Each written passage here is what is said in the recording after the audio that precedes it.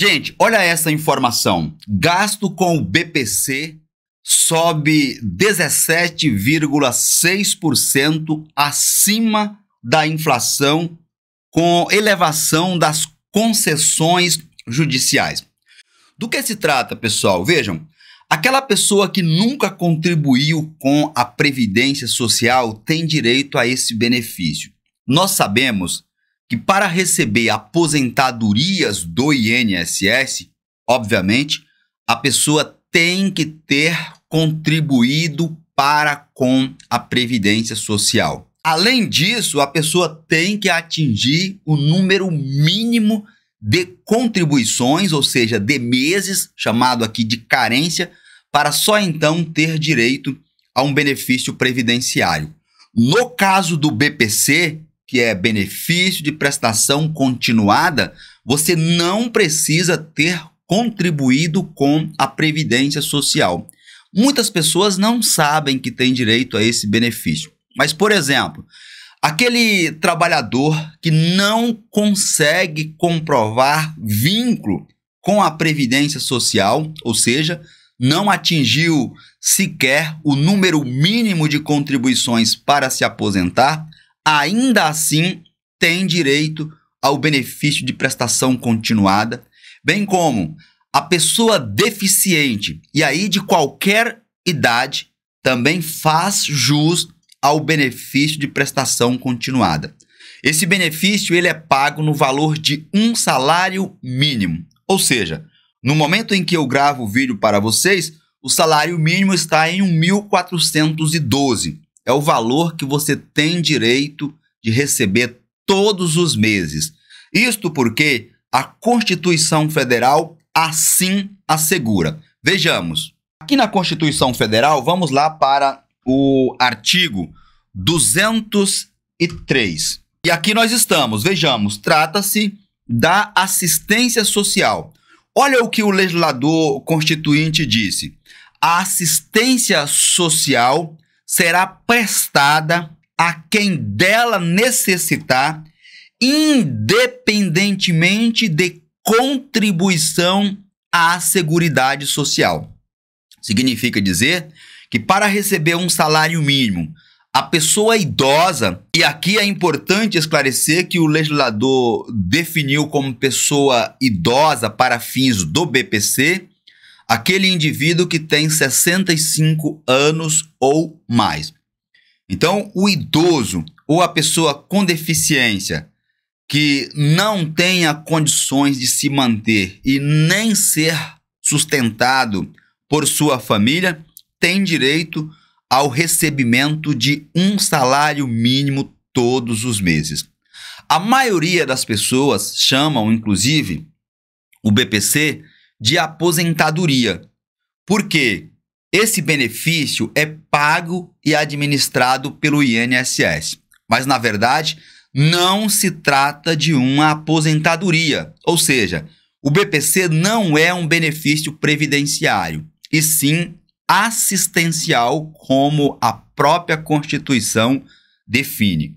Ocorre que o governo apenas utiliza a estrutura administrativa do INSS, que já é especializado no pagamento de benefícios previdenciários, para pagar e administrar o benefício de prestação continuada, que é um benefício assistencial. Pois bem, aqui na cabeça do artigo diz que não precisa de contribuição para a Seguridade Social para ter direito. E aí nós vamos para o inciso 5 do artigo 203 da Constituição Federal, o qual está assim redigido: tem direito à garantia de um salário mínimo de benefício mensal, ou seja, aquilo que eu disse anteriormente. Você vai receber o valor de um salário mínimo todos os meses, e na sequência diz o legislador: a pessoa portadora de deficiência e ao idoso. E aqui eu já expliquei. No caso da pessoa com deficiência de qualquer idade, pode ser um bebê, um jovem ou até mesmo uma pessoa adulta. Já no caso do idoso, tem que ter no mínimo 65 anos para ter direito ao recebimento desse benefício. Basta que comprovem não possuir meios de prover, ou seja, de se sustentar, que é a maioria absoluta dos trabalhadores que pleteiam receber esse benefício mensal. O legislador diz conforme dispuser a lei. Pois bem, a Constituição Federal é de 1988.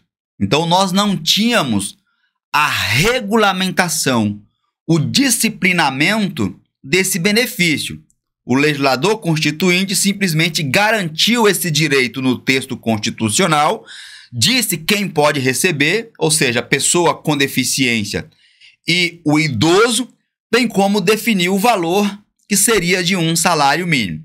Nós estamos aqui no ano de 1988. O legislador, atendendo ao que determinou a Constituição, em 1993 criou a Lei Orgânica da Assistência Social. Aliás, é por isso que muitas pessoas chamam o benefício de BPC Loas, que é uma alusão a benefício de prestação continuada barra Lei Orgânica da Assistência Social. Daí o nome LOAS. Percebam que a lei criou uma seção específica para esse benefício.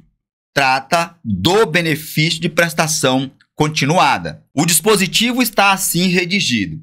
O BPC, o benefício de prestação continuada, é a garantia. Vejam, aqui o legislador está explicando o que a Constituição mandou fazer. O benefício de prestação continuada é a garantia de um salário mínimo mensal.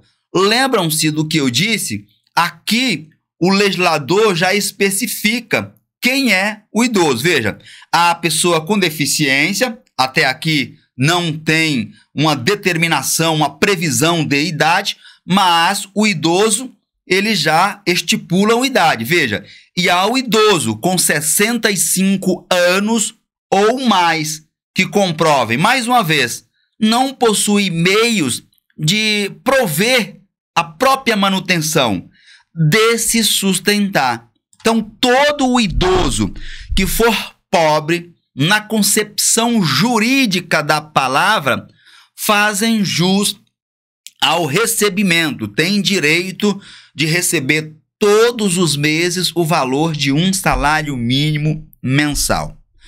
Você que não conseguiu se aposentar, o que você vai fazer? O primeiro passo: todo município do Brasil tem um CRAS.